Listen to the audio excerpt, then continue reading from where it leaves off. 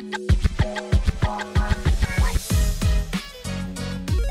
Hey everybody, welcome back to my channel. In this video, we are going to build a context focus assistant. Now, if you are a regular watcher to my content on my channel, you're going to be thinking, hang on, have you not created something like that before? You would be absolutely right because we have, but we use the DaVinci model, which I know is more expensive than the GPT 3.5 Turbo model. And I know you've been asking for it, and I think we've managed to crack away in order to keep our conversation on topic to a particular script. So the idea is you give it a script and it will try to remain on topic as you have that conversation. It's not perfect, but it will pretty well much get you to where you need to be. And I'll walk you through and I'll show you how that plays out. So in this particular video then, we're, so we're going to clone the existing project, which I completed at the end of that five part mini series. Of course, if you are interested in, in actually building just a general chat GPT client where you can hold a conversation, please do go and have a look at that series. But I'm going to give you the link to the example, the clone of the project that you can then use to get you to where you need to in this particular application modification. So we're going to then modify the UI to make it more relatable to the topic. So we're going to keep it as an IT support assistant just to give you a comparative with the previous video. But of course, you can change that to whatever you would like. We're going to enhance the custom function to include a system related message before each request. Now, this is the key bit. By making that change to the application, you are going to try and keep the conversation on topic with the Chat GPT platform. Okay, so I'll show you how to add that into the application. And we're also going to we're also going to adapt the UI to filter out these systems messages. So we're going to put these system messages in upon every single request, but we're not going to want to see those with inside the Flutterflow UI. So I'll show you how to filter those out with inside this application as well. And of course, the the system related message, the initial script that you're going to give the application. We're going to put it in the app states, and then you can customize it how you like. And what we'll do is we'll, we'll turn it into something like a fashion design or something like that, and I'll show you the output that you would get by making that specific change. So of course, it's walkthrough time. So um, hopefully you can clone the project. The link is in the description, of course. So please do grab that. It gives you, it, it gets you to the right starting point that we need for our application. And then we're now going to work on making the changes. So uh, without further ado, let's get cracking. So before we start making changes to the UI, let's show you the example that we've currently got up and running. Now, of course, I've made some changes to it. It looks like an IT support desk at the moment. It's, it's, it's very similar to the application that was built inside the mini series, but I've just labeled up in a different kind of way. So let's ask you a question about the role. Please tell me your role. Let's hit the send option. Now we know that I've uh, already behind the scenes already told it what role that I would like it to play out. So you can see here that great, this is what I want come back. It's telling me that it's a, an IT support technician, which is fantastic. So now let's ask a question. So I said, please help me with my motherboard, which appears to be overheating. So an IT question. Let's hit the send and hopefully I'll get quite a, an exhaustive response come back with lots of different options. Excellent. So there we go. We've got a good response back now with lots of different options. Now, what's really great about this version of the application is I can now ask it more about, say, number six. So tell me more about six. So there we go. So we've got a good response there, which delves in a little bit deeper. And of course, I can keep having this conversation, keep delving deeper and deeper and deeper into the actual problem. So, of course, now let's now try taking it off topic and let's see what response we get. So please help with my maths homework. I'm kind of hoping it will put a bit of a barrier in place now. There we go. This is perfect. So I'm sorry, but as an IT technician, AI model, etc., etc., etc., it's now at least coming back to me. Now, of course, if I was using the regular ChatGPT service, it will say, "Yeah, sure. How can I help you?" And you know, please ask me more. So um, you can see there that we got some barriers in place. Now they're not the conclusive barriers. Of course, you can probably break this down by then now asking further questions, but at least it tries to remain on topic. And that's really the best that we're going to get using this particular model at the time of recording. So now let's move into the uh, changes that we're going to now make to the application to get it to behave in exactly this way. And let's move into Flutterflow right now. So using the link in the description, if you fire that link up with inside your account of Flutterflow and then actually click on the clone project that's just up there, you'll then be able to give the application a name and then you'll be right to where we need you to be to start making the changes. So if you go and do that now and we'll then be ready to go. So here we are then on the home screen of the project. So the first thing that we're going to do is create some application state. So just move over to the app state option here on the left hand side, just hit that.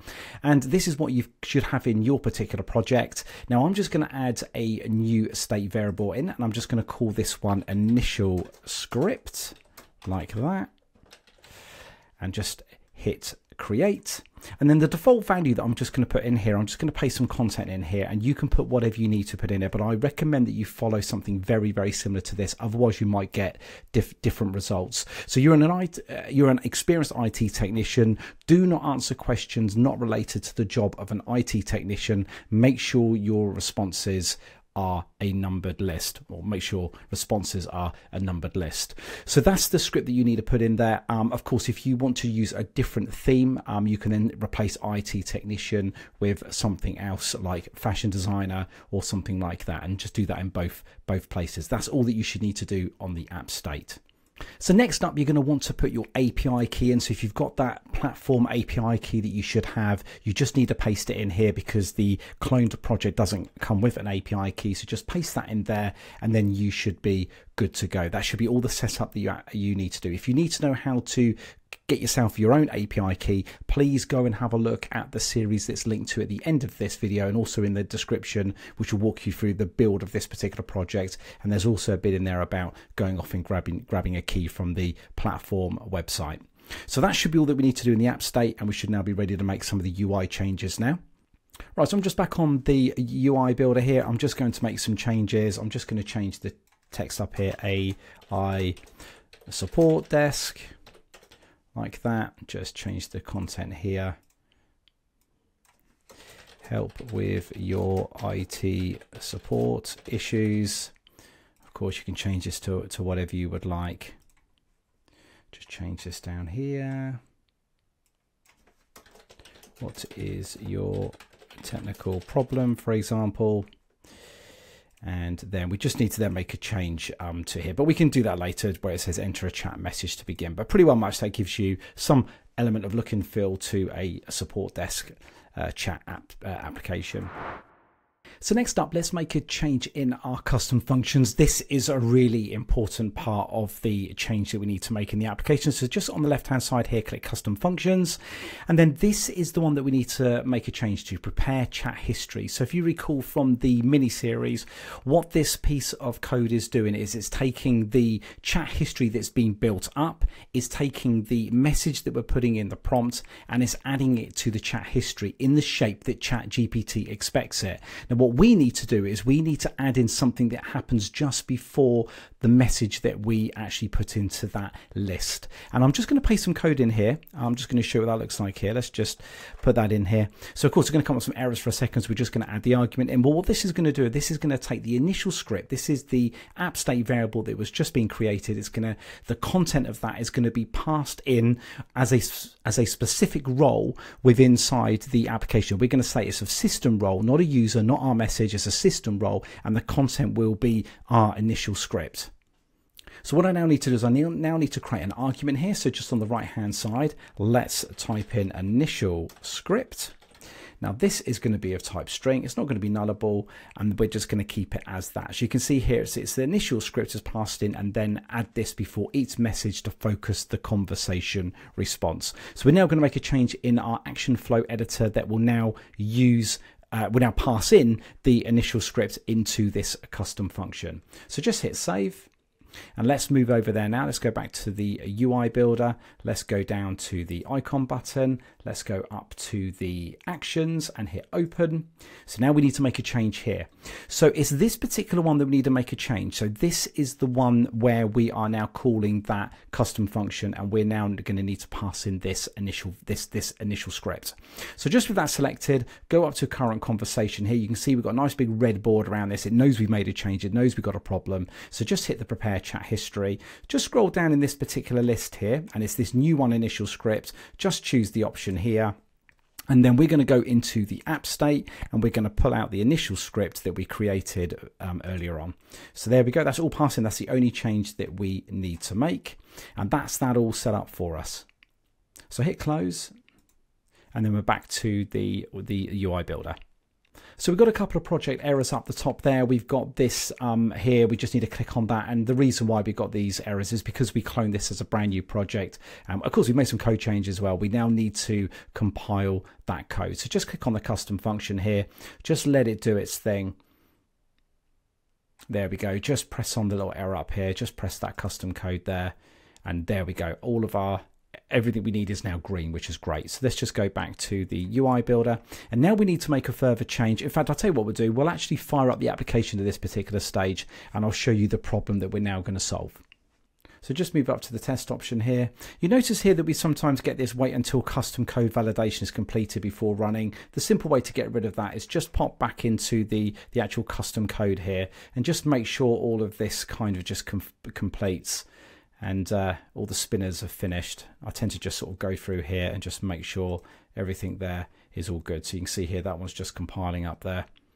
There we go, that's all good. So we should just be able to go back now. We just, just go back up to run and it should, there we go, off it goes. Okay, so test mode is fired up. I've just put a question in here. Let's hit the send option and straight away you're going to see the problem. So what you can see here is that you are an experienced IT technician. That is our initial script. Now it's of system type. It's not user type. It's not an assistant type. It's the system type. So we now need to filter that out from within inside our UI. There is some other problems that we need to resolve, but we'll come back to those in a second. But let's sort that one out first. So here we are then back on the uh, widget tree. So on the left hand side, I'm going to choose a list view current here. This is our list of obviously, obviously our conversation. Let's move up here to this option here for generate dynamic children. And we're going to want to make a change to this one here, the current conversation. So just choose that. And then in the available options, I need you to choose a filter list items. And then here on the filter condition, we are going to move down here and we are going to choose a code expression. So we're going to use a code expression to uh, find our system um, sort of uh, message and we're just going to just exclude it from our list okay? So click on add argument. In the var let's just say role okay? And we're going to move down here to value here and we're going to say the item in list and we're just going to change this to json path. And the uh, the actual json path to the role is just um, the dollar dot role. So we're at the root of the uh, of the specific row within inside the response that comes back from ChatGPT, and it's the role that we're looking for. Okay, so we're just going to hit confirm. And then just scroll down here and we're just going to choose this and we're going to say role is not equal to, um, in double quotes, system. Okay, so that's how we are going to filter out. I just need to say check for errors. That should come back green. I can't see any issues with that and that is looking good. So we just hit confirm. And that is simply all that we now need to do. So if I now go into the um, the the run mode now, let's have a look and see if we've got that filtered out. We know we've still got some problems, but let's just see if we've got it filtered out. So here we go. Let's give this a go then. I've typed in what is your role. Let's hit the send option. And there we go. It's the first one that's up the top right. So it appears that we filtered out those system messages. Now we are not getting null back as well. Now thinking about this, it might actually be that my API key is wrong. So if you're getting that like I am, chances are it could be that you've got a problem coming back from the open API platform. So I'm just going to go and create my API key and I'll come back and give it another go. So here we go. I created my API key. Let's hit this again. What is your role? I'm hoping I'm going to see a response back now from the system. It's feeling better because it's taken longer. Excellent. So that looks really, really positive. We're getting an IT related response back. So I think we are looking really, really good at this stage. So let's try another quick example. I've just gone back into the app state and I've just updated the initial script to say you're an experienced fashion designer this time. And I'm also going to remove this bit off here. Make sure responses are of are a numbered list. Now you don't actually need that. Um, that's just me to try to get my responses to come back in a more uh, more sort of bulleted form in the responses. I'm just going to take that out. Let's now try this now as a fashion designer. So here I'm just typing in what is your role. I don't obviously need to put this in there, but I'm just proving the case that, um, that it's going to come back as a fashion designer. There we go. Let's put another question in. So can you explain how I can patch up my jeans which, which have a giant hole on the knees? Hit the send option there. Let's see what it comes back with. There we go. You've got some examples come back there. Let's now try to send it off the beaten track. So please help me build my house. There we go. As a fashion designer, my expertise is in clothing and accessory design. So we try to t- send it off off a different beaten path, and um, it's pulled us back in now as a fashion designer. So this just goes to show here that you can chuck anything at it in the initial script, um, set its context, and hopefully it will stay on track. Now, as I said before, it won't always do that, of course, but it does its best job at it um, in the example of this application. So uh, that's perfect. So we go guys, hopefully you enjoyed this particular video and it's a little deviation of course from the full five part series that I created to actually build this application from scratch. Please do check out the link at the end of the video and of course the link is in the description as well to that full series. And of course a big thank you to the community as well because it's your conversation that I've been having that's kind of inspired the creation of this video to just try to help you guys out. I know you've been asking for it so I'm really glad to bring this particular video to you as well. And please do like the video. Really do appreciate all your likes. It makes such a big difference with getting the video content out there and spreading the word. And of course, please do subscribe to the channel as well. If you love Flutterflow and you love no code in general, there's so much more content on my channel and there's so much more to come in the future as well. So it'd be great to have you as a subscriber. So until the next one, we'll see you real soon.